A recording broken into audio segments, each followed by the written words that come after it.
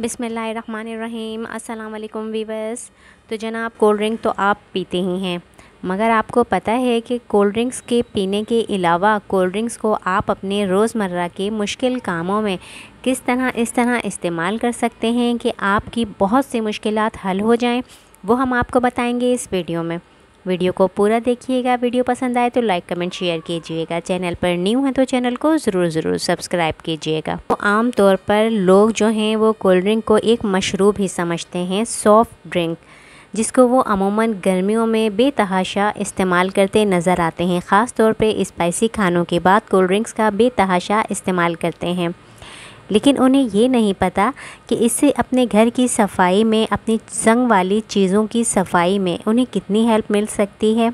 चाहे वो बाथरूम की सफ़ाई हो, जंग आलू चीज़ों की सफ़ाई हो, फूलों की सफ़ाई हो, फ़र्श की सफ़ाई हो, या फिर वाशरूम का सेंक और किचन का सिंक भर गया हो, चिकनाहट साफ़ करनी हो। इन तमाम चीज़ों के हवाले से कोल्ड ड्रिंक इतने हैरत अंगेज़ कमालत रखती है कि अगर आप इस तरह इसको इस्तेमाल करेंगे तो आप ख़ुद भी हैरान रह जाएँगे। तकरीबन तमाम ही कोल्ड ड्रिंक्स में कार्बोनिक एसिड शामिल होता है। जिसकी वजह से ये तमाम जंग वाली चीज़ों को खुआ वो घर की कोई भी लोहे की चीज़ हो, बाइक की कोई लोहे का औज़ार हो, सिक्के हो, या फिर गाड़ी का बोनट हो, या जंग वाली बैटरी हो, इन तमाम चीज़ों के जंग को साफ़ करने की सलाहियत रखता है। ड्रिंक अपनी तेज़ाबी खसूसियात की वजह से जंग को साफ़ करने में मददगार साबित हो सकती है। किसी भी जंग वाली बैटरी या किसी ऐसी लोहे की चीज़ पर जिस पर जंग लगा हुआ है, कोल्ड ड्रिंक की थोड़ी सी मकदार को उंडेलें थोड़ी सी देर इंतज़ार करें। उसके बाद किसी भी स्पंज से उसकी सफ़ाई करें तो सारा जंग साफ़ हो जाएगा और वो बैटरी या जो भी लोहे की चीज़ आपने साफ़ करनी थी, वो चमकने लगेगी। कोल्ड ड्रिंक का एक कैन भी गंदे से गंदे गलीस तरीन बाथरूम की सफ़ाई के लिए काफ़ी होता है। ये एसिड मिला मशरूब हर तरह की गंदगी वाशरूम की पिलाहट को चमका देता है। टॉयलेट की दीवारों पर बेसन पर सिंक पर या टॉयलेट के फर्श पर और कमोड पर, जहाँ पर भी आपने गंदगी और गलाजत को साफ़ करना है, इस कोल्ड ड्रिंक्स को अच्छी तरह आप सब जगह उलट दें और फैला दें। उसके बाद थोड़ी देर इंतज़ार करें, फिर आप कोई ब्रश मारें, थोड़ा पानी डालकर उसकी सफ़ाई करें।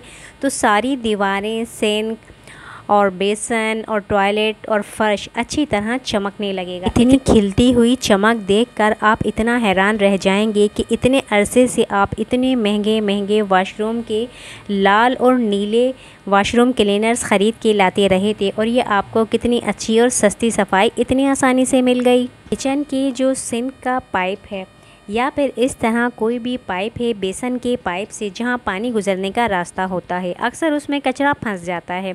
कचरा फंसने की वजह से पानी का जो निकलना है ड्रेन होना, वो बंद हो जाता है और बहुत परेशानी होती है।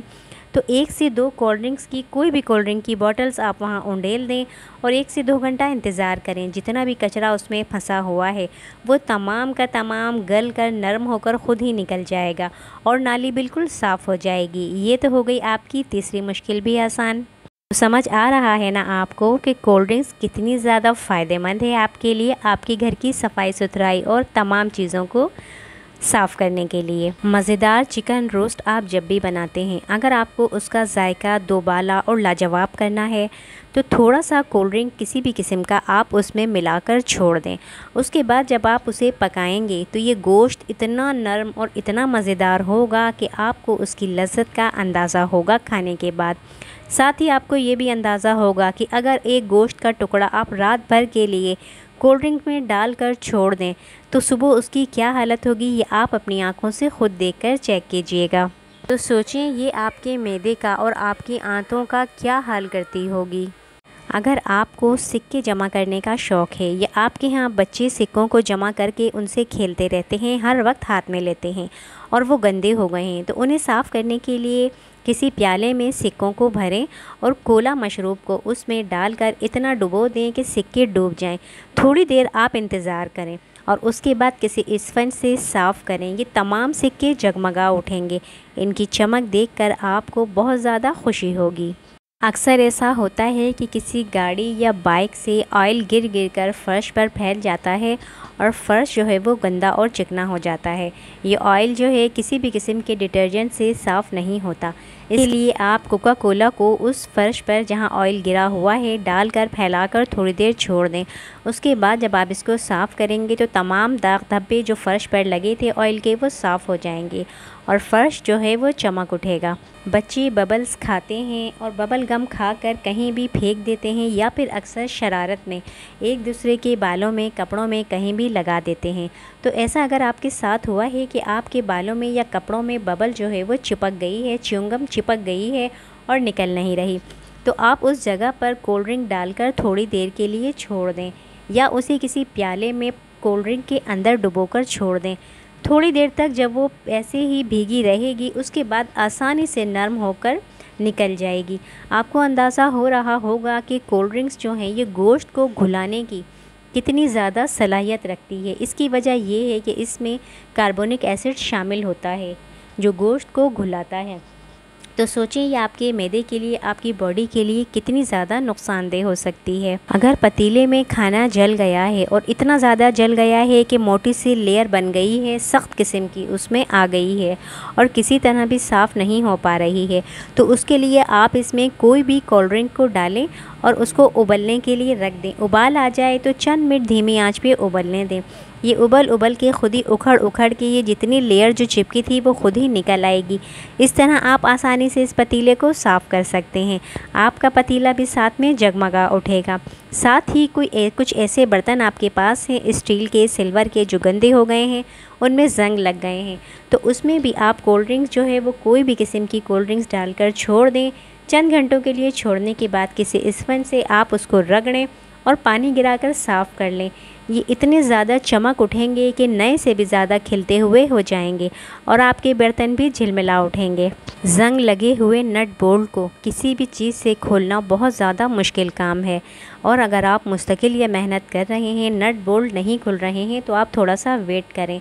किसी कपड़े में आप कोल्ड ड्रिंक को किसी कपड़े को भिगो कर रखें और उसे उठाकर उन नट बोल्ट पर फेरें या फिर डायरेक्ट चनकते नट बोल्ट पर टपकाएँ, थोड़ी देर इंतज़ार करें। इसके बाद किसी कपड़े की मदद से इसको साफ़ करें। जब ये साफ़ हो जाएगा तो आसानी से तमाम नट बोल्ट खुल जाएँगे। और आपकी मुश्किल भी आसान हो जाएगी। इससे पहले भी मैंने कोल्ड ड्रिंक पे बहुत डिटेल से वीडियो शेयर की थी कि ये बच्चों के लिए, ख़वातीन के लिए कितनी नुकसानदेह है। स्पेशली ये हमला ख़वातीन के लिए तो बहुत ही ज़्यादा नुकसानदेह है, क्योंकि स्टिंग पे साफ़ साफ़ लिखा हुआ है कि यह हमला ख़वातीन और बच्चों के लिए बिल्कुल नहीं है। तो सोचें, आप ये इसका बेतहाशा इस्तेमाल करते हैं। तो यह आपके जिसम को और आपकी बॉडी को, आपके मैदे को कितना नुकसान पहुंचाती है। साथ ही वज़न का बेतहाशा बढ़ना। वज़न में इजाफ़ा होना और शुगर के इजाफे का बायस भी बन रही है। वीडियो को अगर अभी तक आपने लाइक नहीं किया है तो प्लीज़ वीडियो को लाइक कर दीजिए। वीडियो कैसी लगी कमेंट में ज़रूर बताइएगा, शेयर कीजिएगा। हमारे चैनल को सब्सक्राइब कीजिएगा। हमें अपनी अगली वीडियो तक के लिए इजाज़त दीजिए। अल्लाह हाफिज़।